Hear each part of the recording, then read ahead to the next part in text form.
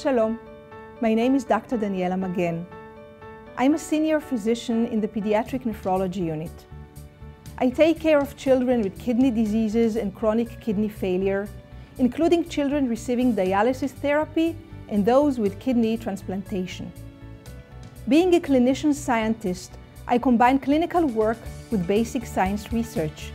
Through my research, I'm trying to identify the genetic basis of inherited kidney disorders in order to improve the diagnosis and find new therapies for these diseases.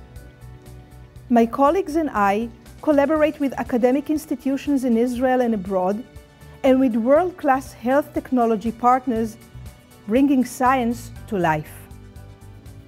Working with Given Imaging to develop the PillCam for diagnosing gastrointestinal diseases.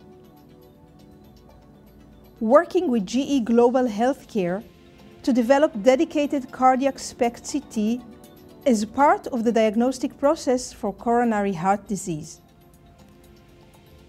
Using stem cells to test the effects and effectiveness of new pharmaceuticals for tailored medicine.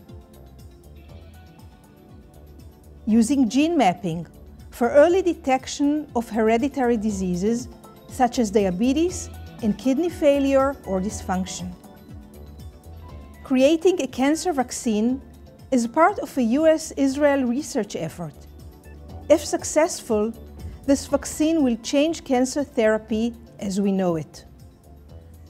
Providing medical care to our patients and researching the causes and cures for disease go hand in hand. That's why we are building a biomedical discovery tower at Rambam.